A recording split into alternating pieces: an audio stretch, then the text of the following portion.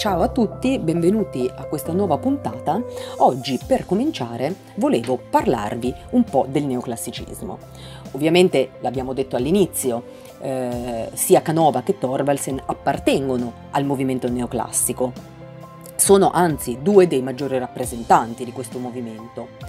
Ma non vi avevo parlato eh, di un personaggio molto importante e molto famoso, e cioè John Winkelmann eh, questo personaggio è stato il principale teorico di questo movimento, che si sviluppò nella seconda metà del Settecento, ma che poi ha contraddistinto anche gran parte del secolo successivo.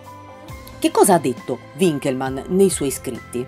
In particolare la cosa più importante è che lui ha affermato la superiorità dell'arte greca rispetto a quella romana. Per capire questa affermazione dobbiamo innanzitutto andare a vedere il contesto in cui lui ha fatto questa affermazione. Allora, Winkelmann nasce nel 1717 e muore nel 1768, quindi Stiamo parlando di un personaggio che vive nel Settecento e che fa queste affermazioni in questo secolo, in un secolo cioè in cui c'erano stati due avvenimenti molto importanti. Infatti, nel 1738 e poi nel 1748 vi erano stati i ritrovamenti delle rovine di Ercolano e Pompei. Questi ritrovamenti avevano innanzitutto risvegliato la passione per l'antichità da parte degli artisti e degli intellettuali, ma avevano ovviamente attirato moltissimi viaggiatori in Italia Viaggiatori che venivano da vari continenti, venivano anche da tutta Europa. Ovviamente anche Winkelmann si reca a, a Pompei e a Ercolano eh, per studiare questo tipo di arte. Fino a quel momento, attenzione, non c'era stata una differenza tra l'arte greca e l'arte romana, perché arte greca e arte romana andavano sotto l'unica eh, dicitura, diciamo sotto l'unica ehm, categoria di arte classica. È proprio con questi ritrovamenti che si cominciano a studiare le differenze tra l'arte greca e l'arte romana e eh, Winkelmann, studiando l'arte greca, definirà, dirà che quest'arte è superiore all'arte romana. Perché? Perché a suo parere è un'arte che è nata in completa libertà, cioè è nata eh, in un contesto democratico. Quindi, se è nata in un contesto democratico, è stata realizzata da uomini liberi. Quindi questa libertà fa sì che questo tipo di arte sia superiore all'arte romana. Attenzione perché queste sue idee andranno poi a influenzare tutti gli artisti del secolo e anche del secolo successivo io volevo leggervi un paio di frasi eh, tratte da una sua opera perché è importante analizzare quelle che sono diventati due termini eh, famosissimi e fondamentali per indicare il neoclassicismo, e cioè nobile semplicità e quieta grandezza. Questi, eh, questa definizione probabilmente l'avete già sentita o già io ve l'ho nominata ehm, in altri contesti. Eh, e sono state parole appunto pronunciate proprio da questo teorico. Andiamo a vedere cosa dice. Lui dice la generale e principale caratteristica dei capolavori greci è una nobile semplicità e una quieta grandezza, sia nella posizione che nell'espressione, come la profondità del mare, che resta sempre immobile per quanto agitata ne sia la superficie. L'espressione delle figure greche, per quanto agitate da passioni, mostra sempre un'anima grande e posata. Beh, questa frase racchiude tutto il significato che adesso andiamo ad analizzare. Che cosa vuol dire nobile semplicità e quieta grandezza? Allora, secondo Winkelmann, le opere dell'arte greca non è che non rappresentassero le passioni, rappresentavano le passioni, però lo facevano in una maniera contenuta. Cosa vuol dire? Che guardando un'opera dell'arte greca le passioni erano presenti, però i soggetti non erano turbati da queste passioni. Quindi la, gra- la, grande capacità da parte dell'arte greca di creare una quieta grandezza, cioè rappresentare le passioni in modo contenuto. Cosa vuol dire invece nobile semplicità? La capacità da parte dell'arte greca di rappresentare le figure in pose semplici che però riuscissero a comunicare la grandezza di un'anima. Quindi le figure non erano scomposte, i movimenti delle figure erano semplici e non esasperati, quindi le pose non erano bizzarre, virtuose, eccetera, erano semplici. Quindi questi greci erano in grado, secondo Winkelmann, di comunicare le passioni in modo equilibrato attraverso delle pose semplici e non esasperate. Ecco, è a questo tipo di ideale che tutti gli artisti a lui contemporanei, secondo la sua opinione, dovevano rifarsi. Dovevano imitare, a suo parere, l'arte greca. Che cosa vuol dire imitare? Imitare, secondo Winkelmann, non significava copiare pedissequamente le opere dell'arte greca, ma significava soltanto prenderne ispirazione per poi andare a creare un qualcosa di assolutamente personale, individuale. Bene, allora io vi ho fatto questa introduzione sul neoclassicismo per spiegarvi ehm, ovviamente i nostri due artisti, Canova e Thorvaldsen, e qui mi fermo e faccio una domanda, e questa domanda la rivolgo a voi. Secondo voi qual è tra Canova e Thorvaldsen l'artista che più si è rifatto a questi precetti definiti da Winkelmann? Ecco, vi lascio qualche secondo per pensarci e per rispondere, ovviamente poi io vi darò la risposta, ma vi chiedo poi con tutta la sincerità eh, di questo mondo, tanto non siamo mica qui a fare le interrogazioni, di magari riportare nei commenti eh, la risposta che avete dato così di primo acchitto. Così a sensazione qual è dei due secondo voi l'artista che più si è avvicinato agli ideali eh, di Winkelmann. Bene, ci avete pensato? Eh, penso che ormai abbiate già dato una risposta perché deve essere una risposta proprio molto eh, d'impatto. La risposta giusta è Bertel Thorvaldsen un po' strana no? questa risposta perché c'è da dire che se apriamo qualsiasi tipo di libro di storia dell'arte, in generale appunto la storiografia artistica ha portato avanti l'idea che fosse Canova il principale artista rappresentante del neoclassicismo, colui che meglio di altri si è rifatto agli ideali di Winkelmann. Ma in realtà, se noi andiamo a fare un confronto, come questa mostra ci ha permesso di fare, tra Canova e Thorvaldsen, ci rendiamo conto che in realtà Pur essendo uno dei più importanti artisti neoclassici, Canova ha seguito molto meno l'ideale di Winkelmann rispetto a quello che ha fatto Thorvaldsen.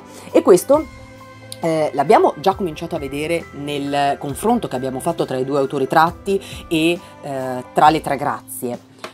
Ma andiamo a farlo ancora, continuiamo, così vi eh, dimostrerò la veridicità di questa affermazione, quindi del, di questa risposta. Eh, andiamo a fare un altro confronto e lo facciamo con le Veneri questa volta. Tema, il tema della Venere è sicuramente un tema che Canova ha trattato tantissimo, che ha amato moltissimo e se fossimo stati in mostra io immediatamente vi avrei portato davanti a un dipinto di Antonio Canova chiamato La sorpresa. Abbiamo già detto che Canova nei momenti di eh, libertà, nei momenti liberi si dedicava alla pittura, ma si dedicò alla pittura, questo ve l'avevo detto nella prima puntata, anche in alcuni momenti in cui eh, fu obbligatoriamente lontano da Roma e quindi non poteva dedicarsi alla scultura. È proprio in questo periodo che nasce quest'opera pittorica dove lui rappresenta una fanciulla, una fanciulla in un pudico atteggiamento mentre sta uscendo dalle coltri del letto. Quindi lei si è appena svegliata, eh, si è eh, alzata e si sta coprendo con i panni come se fosse arrivato qualcuno che la sta spiando. C'è un'assoluta semplicità, un'assoluta essenzialità nella rappresentazione dove c'è questo nudo isolato al centro e uno sfondo, sì, si intravede il letto che è quasi sfumato, quindi al centro c'è veramente la figura della ragazza. Eh, il corpo è di profilo e il volto è di fronte. Ecco lui cosa sta facendo eh, Canova in quest'opera? Sta studiando perché questo lui faceva nelle opere pittoriche, studiava le future composizioni scultoree. Quindi inizialmente la sua idea era quella di rappresentare appunto la Venere con il volto girato eh, verso di noi e il corpo invece di lato. Quindi lui sta sperimentando in pittura per poi andare ad esprimersi nella scultura. E come si esprimerà nella scultura? Beh, pensate che Canova ha realizzato ben quattro versioni della Venere non una ma quattro. Era tipico no? Eh, del Canova andare eh, a riproporre uno stesso tema. La prima Venere che Canova realizza è una commissione assolutamente molto importante, e cioè è la Venere italica. Probabilmente è la Venere più famosa in assoluto tra le opere del Canova, e, e quindi probabilmente quella che voi avete eh, subito alla mente. È un'opera che nasce per andare a sostituire la Venere de' Medici nella Tribuna degli Uffizi. perché c'era, eh, era sorta la necessità di sostituirla? Perché, come avevamo già visto, la Venere dei Medici era stata portata via dai francesi durante le requisizioni. Quindi si era creato un buco, un vuoto, che fu sostituito da un'opera del Canova. Abbiamo già parlato dell'importanza di questo gesto, cioè il fatto che, chiede, che un'opera del Canova sostituisse un'opera della classicità significava eleggere le opere dell'arte moderna a degne eh, sostitute dell'arte classica. Ma eh, questa è stata la sua prima rappresentazione della Venere. Eh, ne seguiranno altre tre. Allora, innanzitutto volevo leggervi eh, l'opinione che dà Ugo Foscolo eh, guardando ehm, la Venere italica e confrontandola con la Venere dei Medici. Innanzi- ovviamente eh, Venere dei Medici diventa modello per il Canova nella realizzazione della Venere italica. Bene, Ugo Foscolo, ricordando la Venere italica, confessò: Se la Venere dei Medici è bellissima dea, questa che io guardo e riguardo è bellissima donna. L'una mi faceva sperare il paradiso fuori di questo mondo e questa mi lusinga del paradiso anche in questa valle di lacrime. Quindi sostanzialmente Ugo Foscolo, sappiamo essere stato un grande sostenitore del Canova, in questo caso Ugo Foscolo si schiera eh, verso la, la Venere italica sostenendo che la Venere dei Medici è una bellissima idea, mentre la Venere italica è una bellissima donna e questo lo andremo ad approfondire tra poco. Ma attenzione perché vi dicevo che Canova non, re- non, si ferma alla Venere Italica ma realizzerà la seconda opera per il principe ereditario Ludovico di Baviera che attualmente eh, si trova a Monaco eh, e una terza per Luciano Bonaparte e eh, una quarta versione eh, per Thomas Hope. Bene, noi in mostra non avevamo eh, ovviamente la Venere Italica, come tanti avrebbero sperato, che attualmente è a Palazzo Pitti, ma avevamo la quarta versione della Venere. La quarta versione chiamata Venere Hope. Perché? Perché era stata commissionata da Thomas Hope, grande mecenate e committente artistico, che avevamo eh, visto essere il committente di Thorvaldsen. Era stato colui che gli aveva commissionato il giasone e che gli aveva quindi permesso di rimanere in Italia e quindi di diventare poi eh, molto famoso. Ovviamente essendo un illuminato mecenate si era rivolto anche ad Antonio Canova eh, e la Venere che noi avevamo in mostra rappresenta proprio un'evoluzione del tema della Venere rispetto a quella che era la sua prima versione, cioè la Venere italica. Infatti se noi andiamo a metterle a confronto notiamo che nella quarta versione Canova ha eliminato il cofanetto ai piedi della dea, ha variato anche la posizione delle braccia che non si accostano più sul petto nel trattenere il drappo, ma ehm, sono di- posizionati in una maniera diversa, una mano, la mano destra, eh, trattiene un drappo e copre il pube della giovane, l'altra mano invece eh, cerca di coprire il seno ed è posta quindi nella parte superiore. La grande differenza tra queste due opere è che nella Venere Hope è presente un naturalismo più accentuato e dove lo vedo? Lo vedo nella mano, guardate nella parte alta che quasi si sta ehm, conficcando nella carne, no? quindi eh, quasi sta affondando le dita lei all'interno della carne. C'è anche più naturalezza nel movimento del corpo, c'è una diversa inclinazione infatti, c'è più dinamicità rispetto alla Venere italica. Quindi che cosa vi sto dicendo? Che la Venere italica era molto più legata ai modelli dell'arte classica. La Venere Hope invece va già oltre, crea quindi più movimento, eh, crea ehm, una naturalezza maggiore, c'è una grande espressività nel volto, l'atteggia alla sorpresa, no? eh, come se fosse appena uscita dal bagno e qualcuno anche qui la stesse spiando ma soprattutto offre una molteplicità di punti di vista, che sappiamo non essere una caratteristica dell'arte classica. L'arte classica prediligeva un unico punto di vista. Eh, lei è una donna in movimento qui. Il movimento serve per rendere l'idea della sorpresa, rendere quindi l'emozione. Bene, se andiamo a vedere la Venere invece di Thorvaldsen, andiamo a vedere che questa Venere è diversa. È nuda, completamente nuda cioè non, neanche, non si sta neanche coprendo, perché è rappresentata in un momento totalmente differente.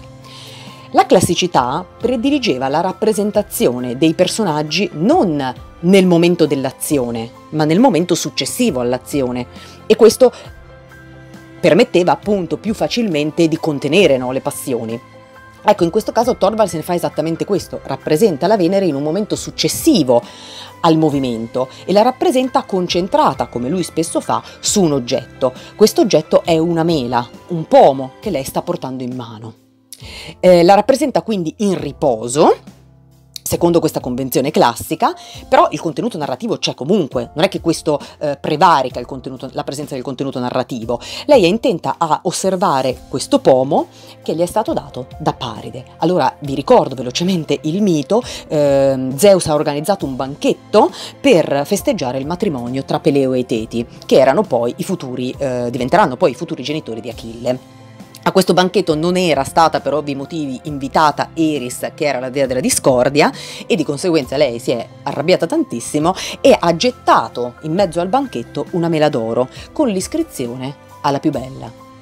Ovviamente tutte le dee si accalcano per prendere questa mela e eh, quelle che la pretendono sono tre dee, Era, Atena e Afrodite eh, vanno ovviamente da Zeus e gli chiedono di scegliere a chi dare questa mela. Zeus si rifiuta e dice no, assolutamente, eh, sceglierà a questo punto l'uomo più bello dei mortali. E chi era? Era Paride. Quindi le tre dee vanno da Paride e gli propongono, ognuna propone a Paride qualcosa in cambio della mela. In particolare Atena gli ehm, promette la sapienza e l'imbattibilità in guerra, che sarebbe stata molto utile a quei tempi, eh, Era invece gli propone ricchezza e potere immenso e gloria, tant'è che il suo nome avrebbe riecheggiato fino alle stelle. E per ultima Afrodite, cioè Venere, eh, promette a Paride l'amore della donna più bella del mondo. Paride sappiamo che sceglierà Afrodite e otterrà quindi l'amore della donna più bella del mondo, che era Elena, Peccato che Elena era già sposata ed era sposata con, la, eh, con Menelao, re di Sparta. Ovviamente eh, Paride ottiene il suo amore e quindi la porterà a Troia e questo evento darà avvio, secondo il mito, alla eh, guerra di Troia. Quindi questa mela che sta portando in mano la Venere di Thorvaldsen è una mela che eh, suggerisce la riflessione eh, sul significato della bellezza, ma soprattutto sull'ineluttabilità del fato, perché prefigura la guerra di Troia. A differenza eh, di quella del Canova, è una Venere che mostra un punto di vista privilegiato, quello frontale. Ok, quindi non ci sono più punti di vista perché non c'è il movimento che è presente nella Venere di, del Canova. Ehm, la grazia, tra l'altro, ehm, appare molto semplice qui in Thorvaldsen. Lei è una donna completamente nuda, ma nonostante il fatto che lei sia completamente nuda, a differenza di quella del Canova, la Venere di Thorvaldsen non è sensuale.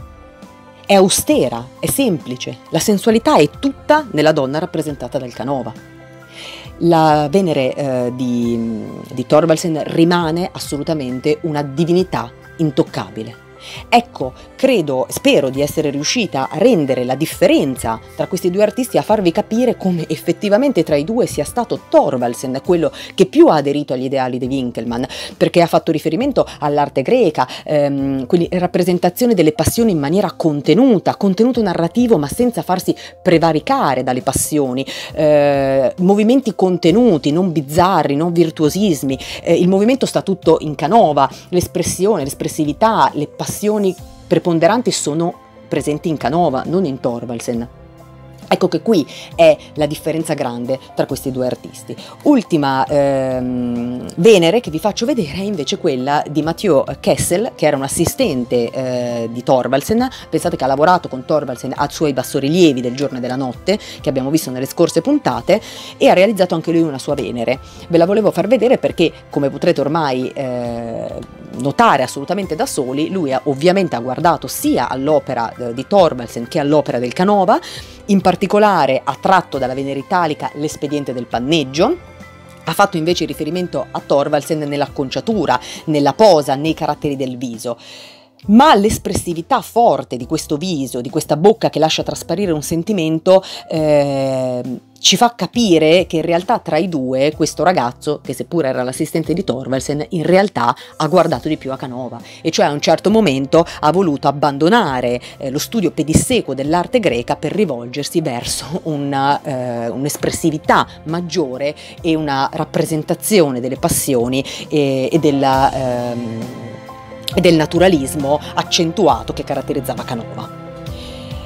Eh, in mostra eh, ci sono altre due opere che ci tengo a farvi vedere per concludere questa puntata e, e che pa- ci parlano dell'abilità e della capacità che Canova mise nel realizzare dei corpi eh, giovani, eh, giovanili, di uomini, eh, di uomini nudi, uno è L'Apollo che si incorona, eh, che è un'opera del Canova, pensate, del 1781-82, ed è la prima opera in marmo che lui realizza a Roma.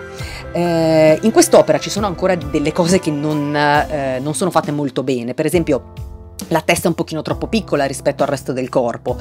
Anche la torsione della spalla sinistra non è completamente convincente. Addirittura noi qui non lo vediamo, ma c'era un buco praticamente sotto il braccio sinistro, eh, un, un, piccolo buco irregolare che eh, ci racconta il fatto che eh, Canova probabilmente aveva colpito troppo in profondità col cesello, quindi un piccolo errore, no? Però nonostante questa eh, opera sia una delle prime che quindi eh, mostra anche un momento di, eh, di, di, di, apprendimento da parte del Canova, in realtà è da considerarsi come il suo punto di svolta verso l'ideale. Eh, perché presenta tutte le caratteristiche del grande Canova nella composizione, nell'esecuzione. Mentre eh, l'altra opera è, che volevo farvi vedere è l'Apollino. L'Apollino è un passo ulteriore del Canova nella riflessione sulla bellezza del corpo adolescente, eh, ci rappresenta appunto Apollo, dio della musica, del sole, delle arti, eh, quando si prepara ad uccidere il serpente Pitone. Questo serpente che noi vediamo avvolto intorno al tronco che gli fa da sostegno. Eh, il dio è armato di arco e faretra, lo vediamo appena dietro il tronco, eh, e ehm, è poco più di un adolescente in realtà, quindi è, pro- è, proprio uno degli esempi di quella graziosità, di quella grazia eh, di cui Canova è stato maestro. Ehm, una cosa che volevo farvi notare e che vale anche un po' per altre opere è il basamento dell'Apollino. Il basamento dell'Apollino ci mostra una sorta di mecca- una base cilindrica, diciamo, a forma di ara che però ha un marchingegno, un meccanismo al suo interno, infatti si vede una sorta di manopola, no? Ecco, eh, questo meccanismo permetteva all'opera di essere fatta ruotare con un movimento molto leggero, alla presenza dei visitatori. Ecco che in questo caso i visitatori potevano apprezzarla da tutti i lati. Intanto questo marchingegno ci dimostra la necessità da parte di un artista che presentava le sue opere nell'atelier di mostrarle in tutta la sua bellezza, in tutta la loro bellezza a coloro che andavano a vederle e che quindi poi avrebbero potuto comprarle e chiederne eh, una versione in marmo, ma dall'altra parte eh, ci racconta anche di come le opere del Canova effettivamente fossero, non avessero un punto di vista privilegiato, ma fossero da vedere assolutamente da davanti, da dietro, da sinistra, da destra, quindi da tutti i punti di vista. Un qualcosa che non apparteneva alle opere di Thorvaldsen e non apparteneva al canone dell'arte classica. Ci vediamo nella prossima puntata dove andremo finalmente a vedere il confronto tra eh, Amore Psiche e le ebe eh, dei due artisti.